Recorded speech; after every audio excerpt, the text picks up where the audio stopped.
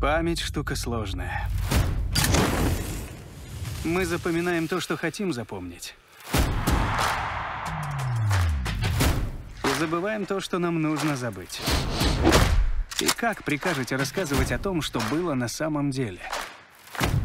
Ведь в этой истории абсолютно все правда.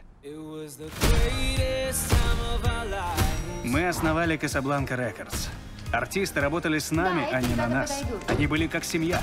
Кис, братья Айзли, Донна Саммер, Билл Уизерс, Парламент, Глэдис Найт.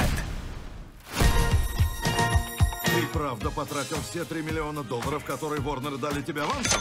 Вообще-то я потратил четыре.